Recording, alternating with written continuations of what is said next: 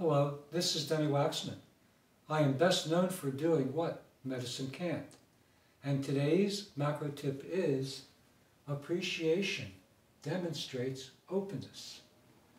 It's easy to get caught up in our concerns and problems of the day. The problem this, this really shrinks and narrows our world and our focus. On the other hand, appreciation creates openness to life and all of its possibilities. And remember, it's what you do, not what you don't. And each step brings you closer to health.